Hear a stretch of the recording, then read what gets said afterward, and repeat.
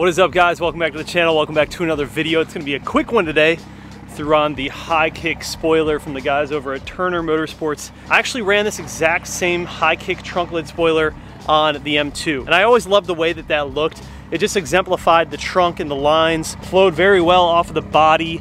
It's got the exact same lines right here. So I decided to switch it up for the BMW Invasion show just do something a little bit different. This is a lot more aggressive than the other one I was running. The other one I was running is like a CS type spoiler, but in my opinion, it stuck a little too far off the back. Like it looked a little bit odd to me in some photos. This one has always been one of my favorites because of the way that it almost looks like it's just like an extension of the trunk. It almost looks like the trunk, if the whole trunk was like carbon fiber, you know, it could flow like that. If you ever look at like the carbon fiber CSL trunks, it kind of has that look to it like that.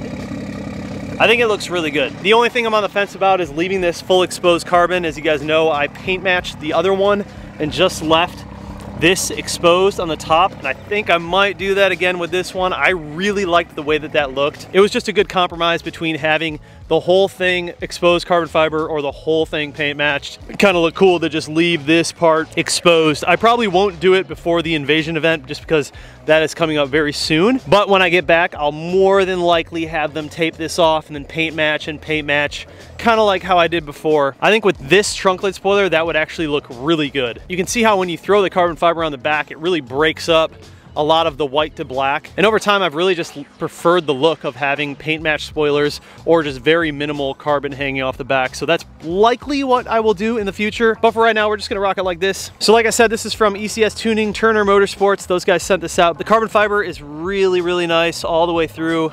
Fitment is completely solid.